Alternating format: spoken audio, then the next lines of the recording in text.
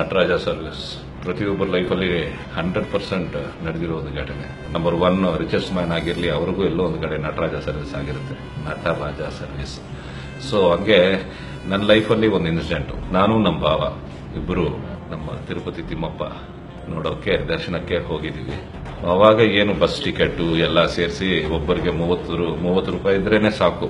ಸರಿ, ಏನೋ ಒಂದು ಹಂಡ್ರೆಡ್ ರುಪೀಸ್ ಇತ್ತು. ನನ್ನ ಪಾಕೆಟಲ್ಲಿ ಒಂದು ಸಪ್ರೇಟ್ ಆಗಿ ಒಂದು ಫಿಫ್ಟಿ ನಮ್ಮ ತಾಯಿ ಕೊಟ್ಟರು ಫಿಫ್ಟಿ ಇಲ್ಲ ತರ್ಟಿ ಏನೋ ಕೊಟ್ಟರು ಸೊ ಡೆಫಿನೆಟ್ ಆಗಿ ಅವ್ರ ತಾಯಿನೂ ಏನೋ ಒಂದು ಕೊಟ್ಟಿರ್ತಾರೆ.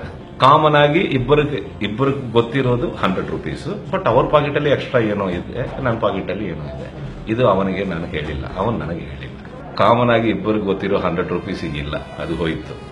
ಅದು ಏನೋ ಅವರ ತಿಮ್ಮಪ್ಪನ ಮಾಯ, ಅದು ಏನಂತಾರ ಆ ಥರ ಒಂದು ಎಕ್ಸ್ಪೀರಿಯನ್ಸ್ ಅವನ ಹತ್ರ ದುಡ್ಡಿದೆ, ಅವನು ಹೇಳ್ತಾ ಇಲ್ಲ, ನನ್ನ ಹತ್ರ ದುಡ್ಡಿದೆ ಮೇಲ್ ತಿರುಪತಿನಿಂದ ಅದೇ ತಿರುಮಲನಿಂದ ಕೆಳಗಡೆವರೆಗೂ, ಆ ತ್ರೀ ಅವರ್ಸ್ ಅಲ್ಲಿ ನಾನು ದುಡ್ಡು ಕೊಟ್ಟಿಲ್ಲ ಅವರಿಗೆ, ಅವರು ಅವ್ರ ದುಡ್ಡು ತೋರಿಸಿಲ್ಲ ನನಗೆ.